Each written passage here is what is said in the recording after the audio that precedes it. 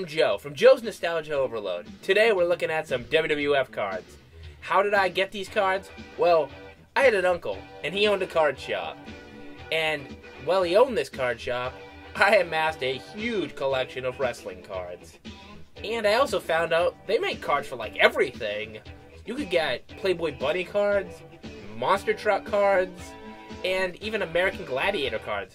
How did I find this out? Well, in the basement was the inventory to the store. And while I was watching WCW pay per views and eating pizza, I thumbed through some Playboy cards. And in the bag, there was also Gladiator and other cards like that. But seriously, Playboy cards? Thanks to the access to trading cards, I've got myself a massive collection of wrestling cards. You want a rare sports card where you can keep the Ken Griffey rookies? I got a Frankie the Parrot card. What? Okay, no words can describe this. None. Jim Neidhart here naming his favorite Green Day song. And this card's going to teach you how to stay in shape in the Outback and enjoy proper pinning technique. Here's George the Animal Steele looking meme worthy.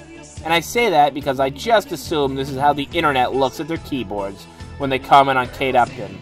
You remember that classic WrestleMania moment when Matilda started talking? No, neither do I. And here's Killer Khan's O face.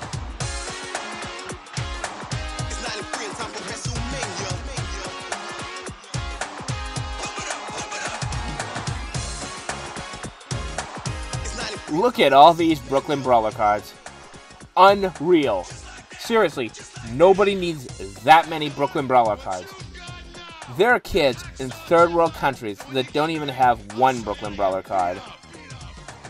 I think they had to pad out this set, that's why they have all these logo cards.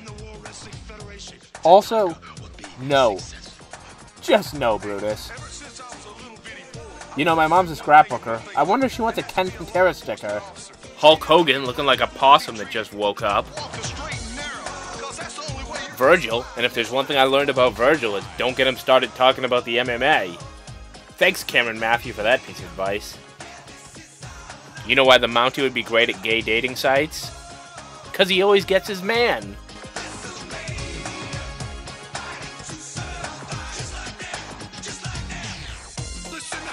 That is one very happy looking photo. Is it me or does Curt Hennig look pissed to be taking this photo?